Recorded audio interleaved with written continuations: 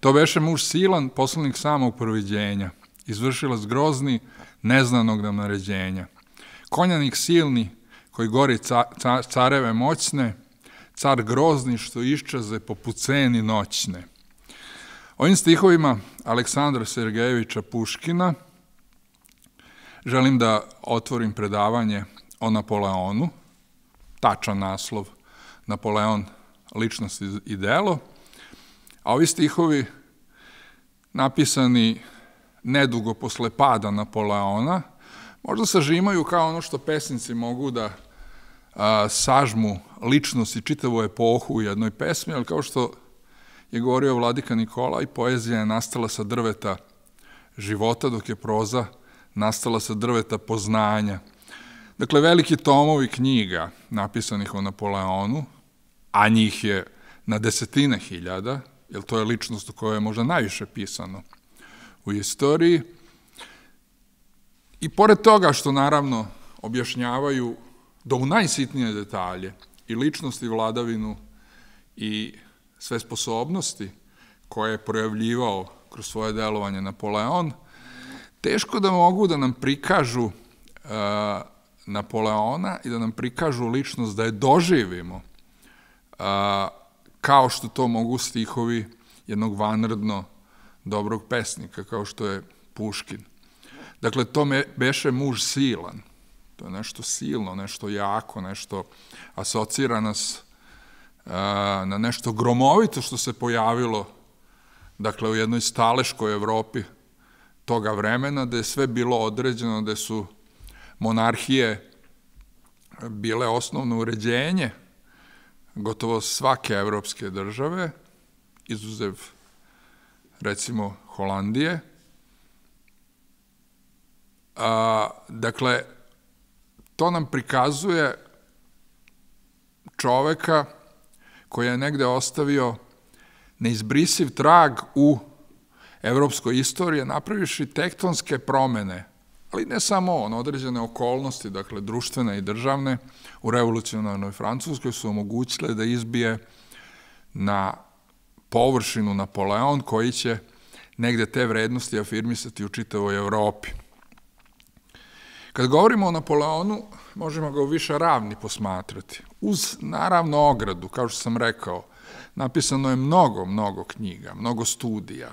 Iz različitih aspekata je gledan Napoleon i da teško na bilo kom predavanju se može nešto novo reći o Napoleonu, tako da i ovo moje predavanje može biti a, čisto jedan pokušaj iz ličnog ugla da objasnim i predstavim kako sam ja doživeo Napoleona, šta je ono značajno, šta je ono što je najkarakterističnije za njega i šta je ono što je najviše uticalo na tu epohu u kojoj on živeo, kao i ono što negde ima refleksiju i u današnjem, današnjem dobu. Dakle, svakako da Napoleonova epoha ima refleksiju i u modernom vremenu. Dakle, iz ovog ugla gledajući ne pretendujem dakle, da ću nešto novo reći, ali eto, pokušat ću da opet prikažem jednu vanrednu ličnost iz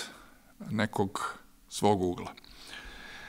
Dakle, kada kažemo o Napoleonu, možemo ga, kao što rekao, posmatrati u više ravni. On je vojskovođa koji je svakako jedan od najvećih vojskovođa u istoriji. Podsetio bi samo da 1812. godine, kada je Kutuzov imenovan za glavnokomandujućih ruskih snaga, kada je Napoleon već duboko prodro u Rusiju na pitanje njegovog nećaka da li će pobediti Napoleona, on je odgovorio ne, ne mislim da ću ga pobediti, ali mislim da ću ga prevariti. Kada se potegla priča pošto je već on važio tada u Rusiji, pogotovo za Antihrista, tako su ga zvali, Kutuzov je učutao sve i rekao, molim vas, pričamo o jednom od najvećih vojskovođa u svetskoj istoriji, prema tome tražim više poštovanja za njegov talenat i njegov genija. Ja naravno ovo parafraziram, ali to je suština onoga što je Kutuzov rekao. Dakle, Napoleon se može, može posmatrati u ravni vojskovođa i tu vidimo da je zaista jedan od naj darovitijih i najboljih vojskovođa koje je svet imao. Pot, vidimo to po tome što je iz desetina bitaka izlazio kao pobednik, čak i oni bitaka gde se negde ratna sreća osmehivala protivnik. Umeo je da se izvuče, umeo je da a, negde, zahvaljujući svojoj veri, pre svega u sebe, u ono što radi, umeo je da negde sve to preokrene i na kraju da triumfuje. Napoleona možemo posmatrati u političkoj ravni, gde je on zaista od 1799. godine, kada je postao jedan od konzula, posle prvi konzul, a od 1804. godine i car Francuske, a, uspeo da ono što se desilo u revolucionarnoj Francuskoj, što je dovedeno, dovedeno u pitanje već 1794. Jakobinskom diktaturom, što je pretilo jednom anarhijom i potpunim raspadom svega onoga što je donela revolucionarna Francuska, dakle, on je uspeo da posle direktorijuma koji je do 1799. godine upravljao Francuskom, dakle pet direktora koji su činili izvršnu vlast, a kada je počela da se gubi vera e, u to telo i mogućnost da ona upravlja u jednoj velikoj krizi u kojoj se našla Francuska i pod jednim velikim izazovima u kojima je bila kada su sve evropske monarhije upravo zbog e, promene državnog uređenja bile protiv nje. Dakle, on je u tom trenutku uspeo dakle, da objedini Francusku, da se nametne kao prvi čovek i da one tekovine iznedrene iz građanskog staleža, buržoazije, negde svojim osvajanjima prenese na čitavu Evropu. Dakle, mnogi će reći, odnosno neki istoričari će reći, ne, Napoleon nije osvajao, on je samo širio slobode. Dakle, više imamo aspekata gledanja na samog Napoleona.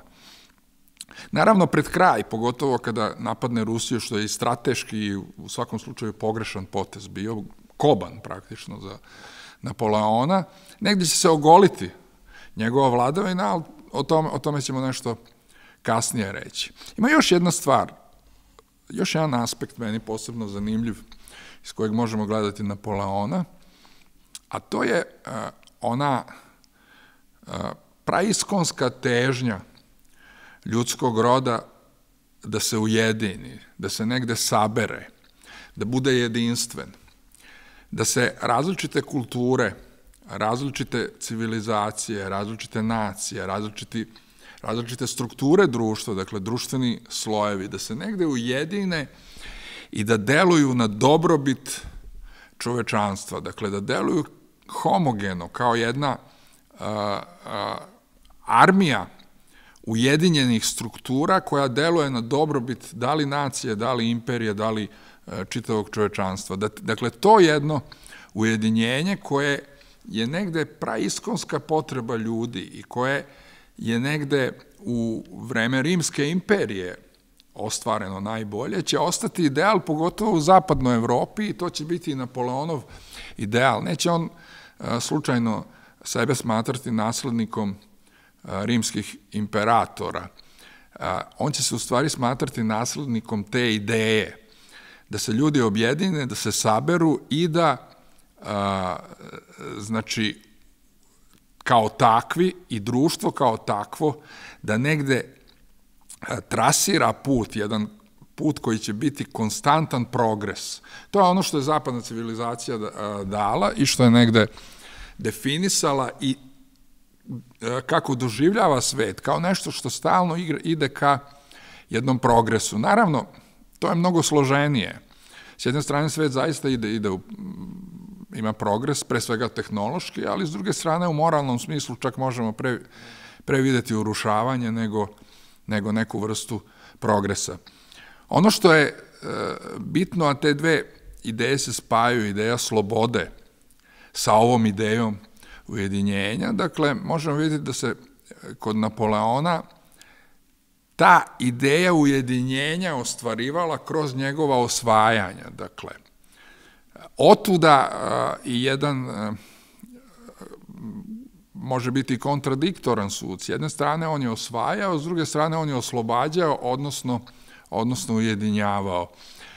A, međutim, ima nešto tu zanimljivo. Ako je on zaista oslobađao najkreativnije snage u tadašnjoj Evropi, kroz svoja osvajanja, evo je ovo što ja govorim je kontradiktorno, ali dakle, ako je to negde e, radio, a on jeste zaista e, oslobađao one kreativne snage koje su bile potisnute u feudalnim državama, to je pre svega buržuazija. Dakle, iz te klase su proizašli i naučnici, i, inženjeri, i prosvetitelji, i svi oni koji su negde mogli da to društvo, evropsko, čitavo evropsko društvo, gurnu napred. Dakle, ako je on s jedne strane, dakle, a, ajde da kažemo, oslobađao te kreativne energije buržuazije, s druge strane, on je zaista na neki način i porobljavao narode, ali uspostavljao sve jači sistem kontrole u sve porobljenijoj Evropi.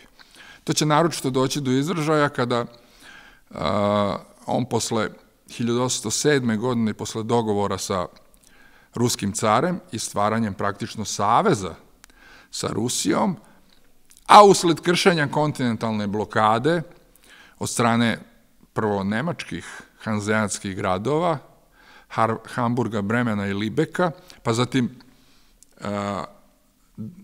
državica na teritoriji Italije, uključujući i papsku državu, kada on počne da širi svoje carstvo i kada, kada mu priključi konkretno u jednom, jednoj situaciji Rim, pa se i Parižani počnu pitati otkud to da je Rim u sastavu Francuske, jer to je bilo zaista nepojmljivo i njima samima. Ali on će kasnije, dakle, upravo zbog a, pokušaja da a, realizuje kontinentalnu blokadu prema svom najljućem protivniku Britaniji, početi sve više da steže Rusiji, otu će se roditi i planovi da praktično napadne Rusiju, što će i učiniti. Ono što hoću da kažem, a, to je sve više izazivalo jednu kontrolu osvojenih teritorija, a kontrola je kako onda, tako i danas uvek narušavala ono što je najbitnije čoveku. Narušavala je slobodu. Jer čovek kad, kad god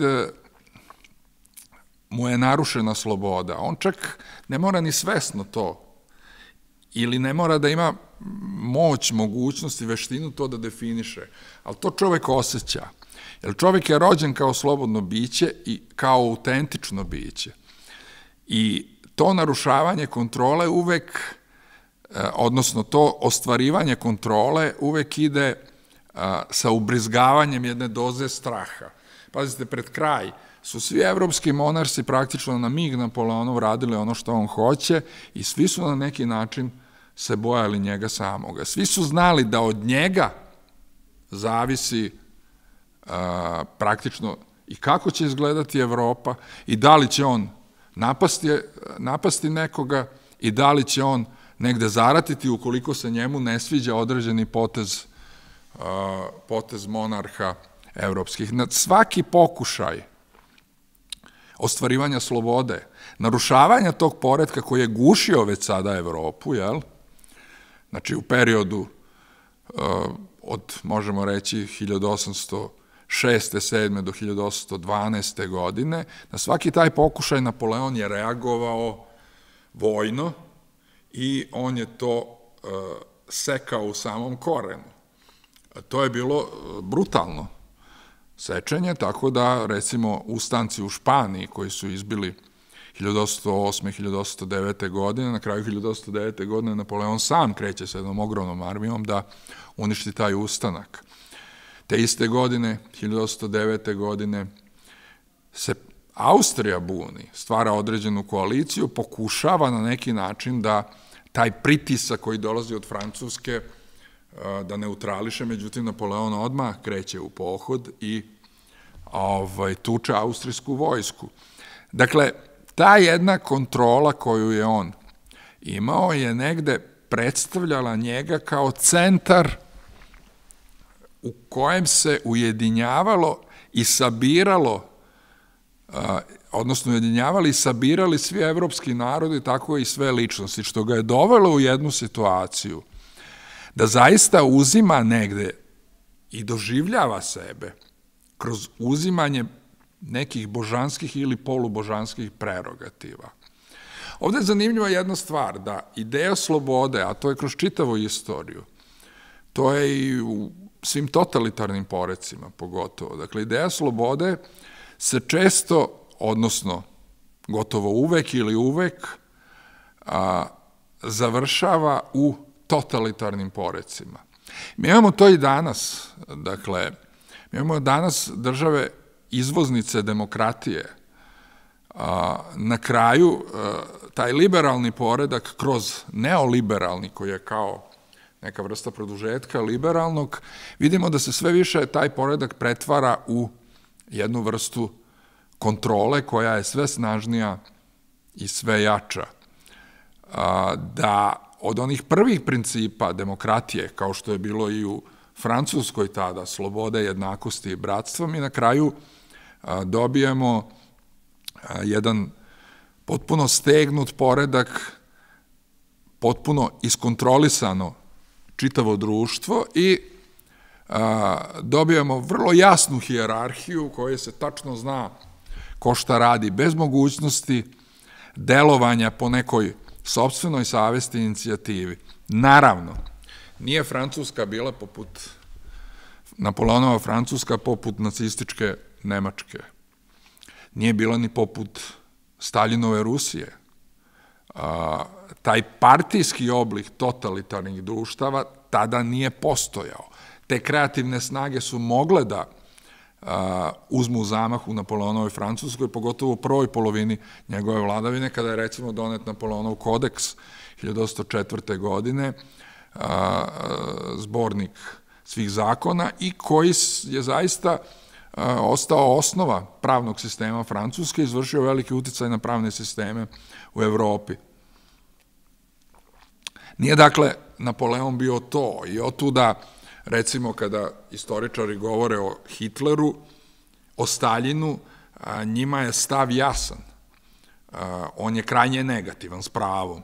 Kada govore o Napoleonu, imaju ovo, kao što sam govorio, jedan ambivalentan osjećaj. S jedne strane zaista osvajao, s druge strane je oslobađao. Tako da je Napoleon otuda jedna kontroverzna ličnost i njegov poredak je teže okarakterisati kao neku vrstu preteče antihrista, mada su to Rusi uradili. Taj moment kada govorimo u a, ravni antihrista i u religijskoj ravni, a, je negde možda centralni nerv Napoleona, za shvatanje Napoleona, ali centralni nerv za shvatanje modernih totalitarnih društava i modernih produkta ne samo zapadne civilizacije, njemu je koren u zapadnoj civilizaciji, ali toga, kao što vidimo, bilo i u Rusiji na istoku, tako da u tom nekom smislu, proučavajući Napoleona, možemo sve to da otkrijemo, da vidimo i to nam se sve, to nam se sve pokazuje. Ima jedna jedan model gledanja u čoveka i u događaje iz njegove finalne perspektive, dakle, iz onoga u šta se izrodilo, dakle, gledamo kraj i po tom kraju onda nam postaje jasno sve ovo što je pre toga bilo. Otuda, e, kada se gledamo Napoleona, po mom mišljenju, upravo kada je taj moment ujedinjavanja svih naroda, naravno i nametanja drugim narodima jednog modela koje je nudila Napoleonova Francuska, kao što danas nudi, ajde reći ćemo, demokratska Amerika, i po toj jednoj isključivosti da ne postoji ni jedan tako dobar model, mada svaki narod kroz svoju autentičnost izgrađuje model uređenja koji njemu najviše odgovara. Dakle, gledajući kroz sve to, mislimo da je taj finalni doživljaj Napoleona možemo imati i da se on pokazuje, projavljuje i prikazuje onog trenutka kada Napoleon ulazi u Moskvu. Mislim da je to glavni događaj i da je to prelomni događaj u Napoleonovoj karijeri. što kaže Puškin da je on a, poslovnik samog proviđenja, taj negde mistični deo i Napoleon osjećao. On je govorio uvek da je sudbina njemu naklonjena i da god, dogod mu je naklonjena njemu niko ništa ne može. Pazite, čovek koji je uh, razrađivao vojne strategije, koji je bio istovremeno i uh, prvi konzul i car i znači šef države jedne, koji je kontrolisao čitavu Evropu, koji je znao vrlo dobro za tadašnje doktrine političke i vojne i koji se njih pridržavao, ipak osjećao da proviđenje njega drži, kao da je osjećao da on ima neku ulogu u čitavoj drami evropske istorije tog doba, ali je znao i to je govorio, dakle, kada me to napusti, kaže, jedan atom će me srušiti. Tačno je znao, imao je neki taj, naravno ne jasan, nedefinisan, i on mogao da kaže ni koje proviđenje ga je poslalo, ali je imao jedan osjećaj a, toga da njegova snaga koju on crpi, možda i nije njegova, da je ona negde pozajmljena, da je ona negde njemu poverena. Dokle će to tako biti, on nije znao. Mislim da je prvi put osetio u Rusiji, onog trenutka kada je ušao u Moskvu i kada je po svim pravilima e,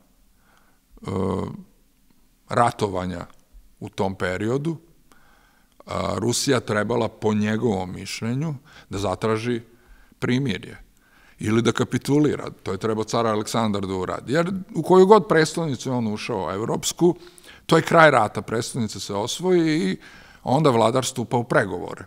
U zavisnosti, naravno, koliko je vojske sačuvao, koliki može kontraudar da nanese, ti pregovori a, će biti tvrđi ili mekši. E, povoljnije ili nepovoljnije za tog vladara, ali u svakom slučaju tada se stupa u pregovore. Međutim, on ulazi u Moskvu i ruski car ne reaguje. Ruski car je u Petrogradu tada i e, čitava ruska elita u Petrogradu. Oni apsolutno ne reaguju. Pazite, on ulazi u Moskvu, e, sad ako se ne prevarim, 14. septembra. U svakom slučaju, on u septembru ulazi u Moskvu. To je još uvek leto. To nije zima. Njega je zima tek pokosila njegovu armiju kad se povlačio. Znači, nije zima pobedila Rusiju, a, nego nešto drugo. Dakle, on ulazi u Moskvu, nikomu, niko ne stupa u kontakt s njim, on to očekuje. I od tog triumfa koji on osjeća u tom trenutku kada je ulazio, čak Tolstoj govori u ratu i miru kao da on gleda sa poklone gore, gleda Moskvu, praznu, prestolnica Azije, on je oduševljen i odmah u mašti svojoj, pa čak to deluje malo infantilno, ima planove kako će doneti zakone Rusima, kako će im doneti državno uređenje, kako će im doneti jedan napredak. To je ta jedan, jedna isključivost i jedna gordost i sujeta da ono što ja imam, ono što je negde moje iskustvo životno, da to treba da bude i tvoje iskustvo. Rusija je sagrađena sa svim drugim i religijskim i, i, i državnim i društvenim korenima. Mada ona ima dosta sličnosti sa Zapadom, što je od Petra, Velike, Petra Velikog preuzimala, ali ona je ipak nešto drugčije i to sve što možda Francuskoj Evropi odgovara, to ne odgovara Rusiji. Međutim, to Napoleon ne vidi. On misli da je besprekoran, da sve ono što on donosi je savršeno i tu se vidi da je on e, krajnji produkt zapadnog humanističkog čoveka, da je čovek postao centar i merilo, merilo sveta. Dakle, on u Moskvi prvih nekoliko dana osjeća triumf. Međutim, kada se ništa ne događa, on vidi da nešto nije u redu. On vidi, suočava se s nečim nepoznatim. To je ono što je jako zanimljivo kod njega. I Moskva, naravno, počinje da gori posle nekoliko dana. Počinju prvi požari.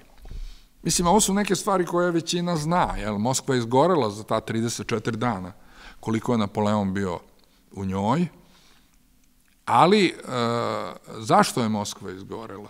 To je sad isto veliko pitanje. Zašto je došlo do e, praktično požara koji je uništio tri četvrtine grada? E, pazite, Moskva je bila e, tada grad sa oko kreću, kreću se procenu između 200 i 300 hiljada stanovnika, otprilike kao Novi Sad današnji, a imala je 300 hramova, 300 crkava je imala. Tako da je, i drugo, Moskva je u svesti ruskoj bila ona autentična pravoslavna ruska, dok je Petrograd bio više napravljen još početkom 18. veka i kao prestonica, bio više predstavnik, e, predstavnik Evropske Rusije.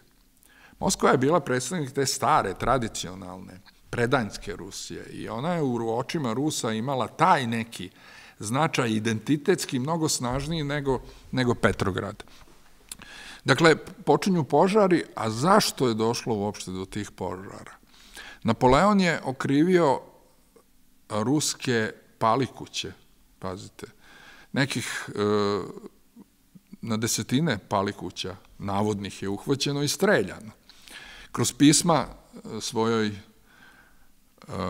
carici Mariji Luizi, s kojim se oženio 1810. godine sa Habsburgskog dvora, on govori da su to e, narod varvarski, da su oni kao skiti, da pale svoj grad. Naravno, on ta pisma šalje koja će kasnije preko Marije Luize biti distribuirana u evropsku javnost. On time sebe negde pere. On hoće da kaže da je on car koji im donosi. Pazite sad ovaj model. On osvaja Rusiju. Rusija je spaljena sva. Ali on govori u principu da oni ne razumeju, šta on hoće da kaže, da oni ne razumeju to što im on donosi, prosvetu, civilizaciju, da su oni spremni da zapale svoj grad, samo da ne bi prihvatili njega koji njima samo dobro donosi u krajnjoj liniji. Zanimljiva je još jedna stvar. On kada ne dobija nikakve mirovne ponude, on šalje pismo Aleksandru, da ovo je totalni paradoks. On iz Moskve šalje pismo caru Aleksandru u Petrograd, gde on traži primirje, što je potpuno, kažem, paradoksalno. I on mu se obraća, pošto su oni u Tilzitu, kad su skopili savezništvo 1807. godine, počeli da oslovljavaju jedan drugo kao brate. I zamislite sad, on šalje pismo caru Aleksandru i kaže, brate moj, Moskva gori. Mislim, kako sad oni mogu biti braća ako Moskva gori? Mislim, to je pa, potpuno jedan izgubljen osjećaj za realnost. Šta je on uradio i kako to može da doživi, doživi Aleksandar. Dakle, Moskva je izgorela, treba i dati za to odgovor da bi se kazalo ono centralno zašto je, šta se to dogodilo u Moskvi, a to je jedna i mistika i tajna koja se negde projavljivala kroz kasnije delovanje Rusa i to ćemo reći. Dakle, vojnici kreću na jedan stravičan pohod. To je armija koja je sastavljena od 500.000 ljudi, možda i 600.000 sa ovim rezervama koje su bile u Poljskoj. I Rusi se povlače, ne zato što je često postoji priča da je to bio plan da se povlače, ne, od devet planova koji je sastavljeno, u osam je bilo e, strategijski određeno da se Rusi suprotstave odmah na Njemenu, odmah čim Napoleon pređe granicu. U jednom je ostavljena mogućnost da se eventualno povlače. Znači, silom prilika se Rusi povlače, jer vide da je Napoleonova armija mnogo jača. Sreće da su oba komandanta, prvo Barclay de Tolly, a kasnije i Kutuzov, da su shvatili da moraju da se povlače, jer bi im bila uništena vojska. U tom jednom povlačenju, dugačkom, trpele su obe armije. Trpelo je stanovništvo, trpila je država. Znači, trpila je teritorija. Praktično je bila popaljena Rusija skroz, skroz do Moskve ti vojnici koji su išli na taj jedan iscrpljujući, ubitačni marš, marš možemo reći, nisu mogli više biti drugčije motivisani nego time da kad dođu u Moskvu da će sve biti gotovo. To je kraj. Moskva kad se osvoje, a opet po onom principu, kao što sam rekao, Napoleon očekuje kad uđe u Moskvu i osvoje da je to kraj rata. Mislim, rat je tad tek počinjao. Ovaj, I ti vojnici s tom nadom, bez te nade oni ne bi izdržali čitav taj pohod. I oni s tom nadom ulaze u Moskvu. Međutim, posle tolikih napora, taj čas olakšanja njih prosto preobražava iz vojnika u marodere. Oni se toliko opuštaju, to je kraj rata, plen, oni počinju Moskvu da shvataju kao plen. I upravo u toj jednoj razuzdanosti je prirodno kada je 90% ili možda i više stanovništva Moskve se evakuisalo, potpuno je prirodno da taj grad usled nepažnje, pre svega francuskih vojnika, da počnu da izbijaju požari. Jer, znate, oni to shvataju kao plen, opet ponavljam, oni to ne shvataju kao neki grad uh, u ko, koji će oni osvojiti i koji će ući u neki državno-pravni sistem Napoleonove carevine. Oni su iscrpljeni do kraja i oni sada hoće da iskoriste to što su preživjeli tolike patnje, što su učestvovali u tom pohodu. I upravo tada oni počinju da pljačkaju u Moskvu i tako će posle 34 dana i krenuti sa opljačkanim tovarima, to više neće biti armija. M će biti maroderi, ratni razbojnici, znači moralno se urušila vojska u Moskvi, Napoleonova. To više nije bila ista vojska, a M će biti opterećeni velikim tim ratnim plenom za koji Napoleon više nije mogao da im kaže, jer bi izgubio kontrolu nad njima, nije mogao da im kaže ostavite to. A taj plen će im samo biti prepreka, na kraju će ga pobacati kada budu a, bežali iz Moskve.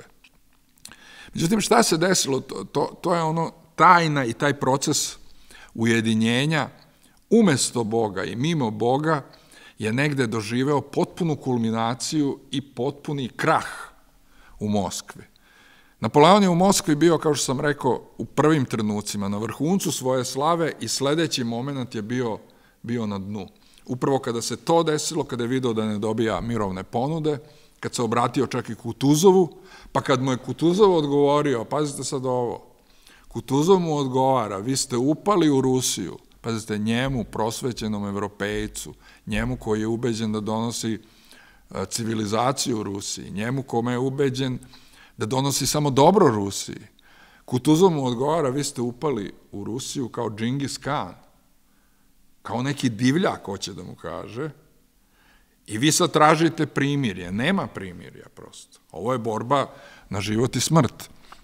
I upravo tu se dešava ono što se desilo još davno, tada 1800 godina ranije, a sada pre 2000 godina, ono što a, se desilo trgovcima u hramu u Jerusalimu kada Hristos dolazi i sve ih tera, naravno parafraziram i ovo iz Evanđelja, sve ih tera i kada kaže napravište od doma molitve oca moga razbojničku jazbinu. Upravo to se negde u jednoj, jednom mističnom doživljaju događa, događa i Napoleonu. On je napao na onu najveću svetinju i to je rezultiralo potpunim moralnim razaranjem i urušavanjem Napoleonove vojske.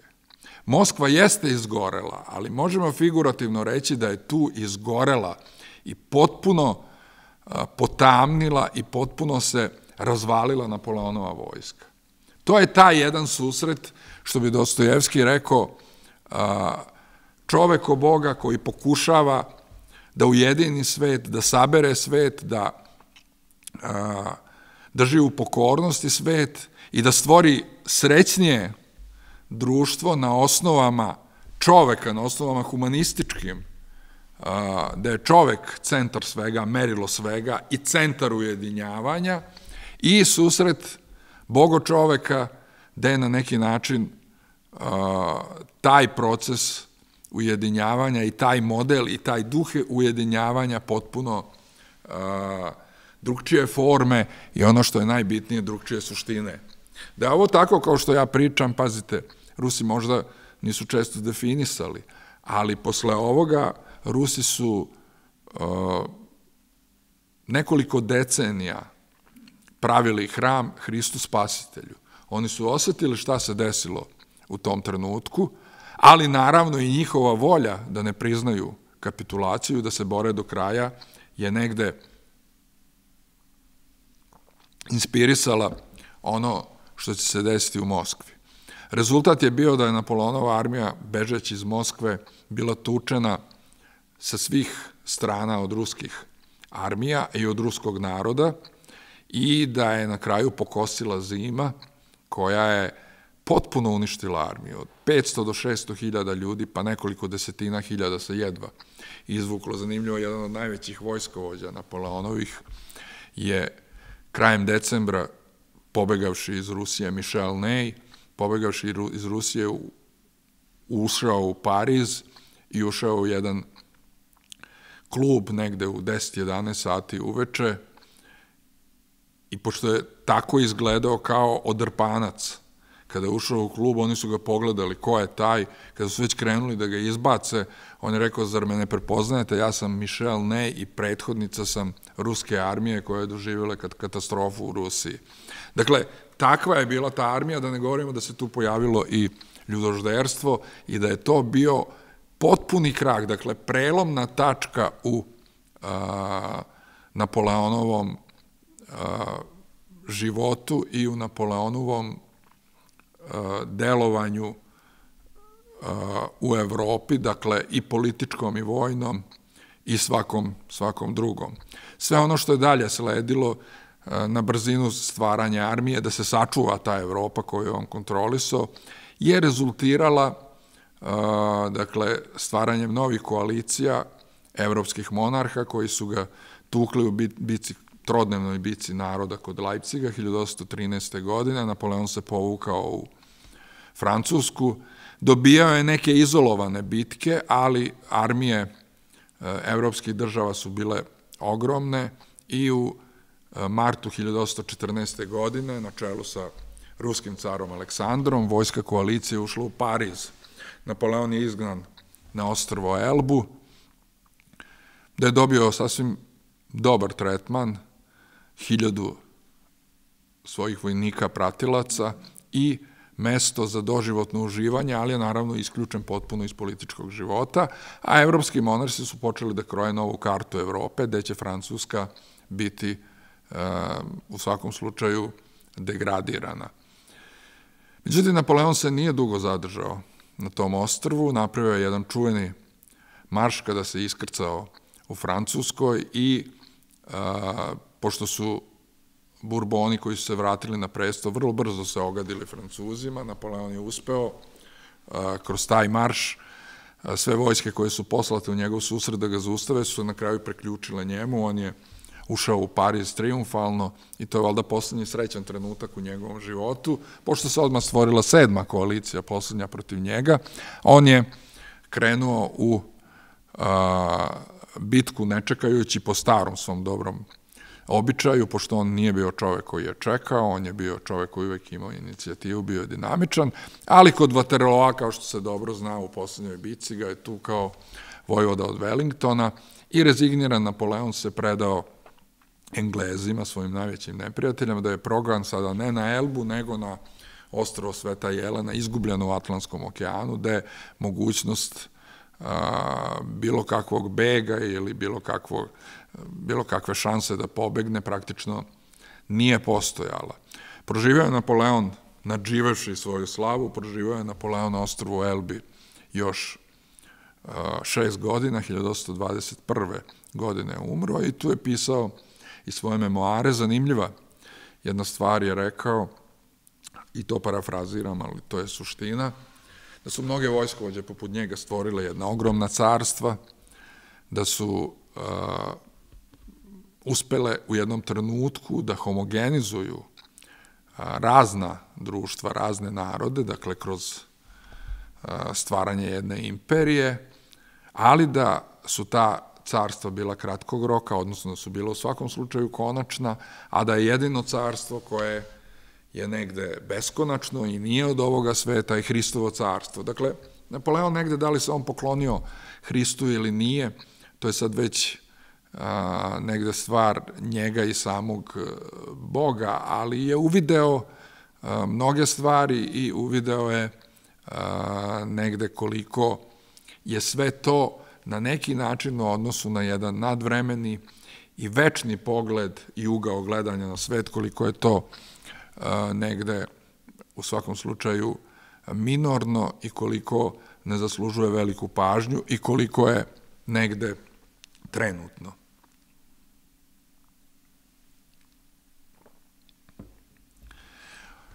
Još par rečenica samo hoću da kažem. E, ono što sam rekao na početku, e, Napoleon je bio neko oko koga, kako god ga posmatramo, iz koje god tačke ga gledamo, možemo reći da on bio i kroz svoje negativne postupke i pozitivne onaj ko je afirmisao slobodu. Ili namerno, ili nenamerno.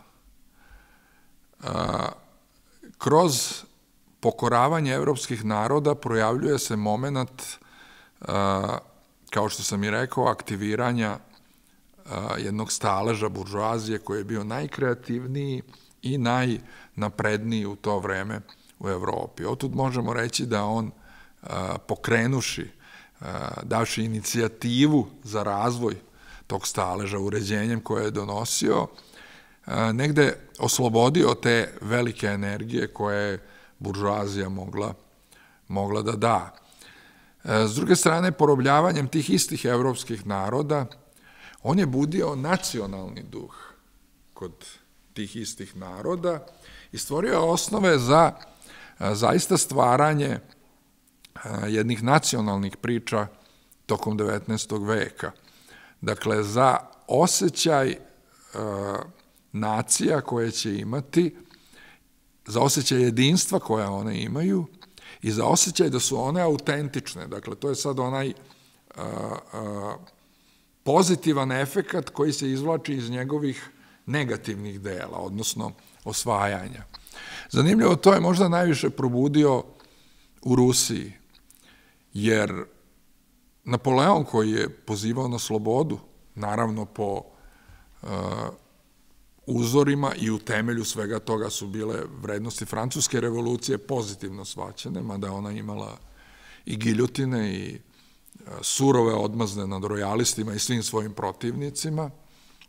Dakle, uh, kroz taj moment je on negde pokrećući priču o slobodi, on je negde stvarao jedan odijum u Evropi da on zaista neko ko može, bar u početku, ponuditi slobodu. Međutim, on kad napada Rusiju, pogotovo 1812. godine, pošto je već do tada bilo uvraženo mišljenje koje se samo potvrdilo tokom tog napada, tokom svih tih patnji koje je ruski narod doživeo, a, dakle, on omogućuje caru Aleksandru Ruskom, koji vlada feudalnom državom praktično, gde postoje kmetovi, on omogućuje da se car Aleksandar sada poziva na slobodu u borbi protiv zavojevača i antihrista, što negde nije izgledalo deset godina pre toga da može tako nešto da se desi i e, ne samo da se poziva, nego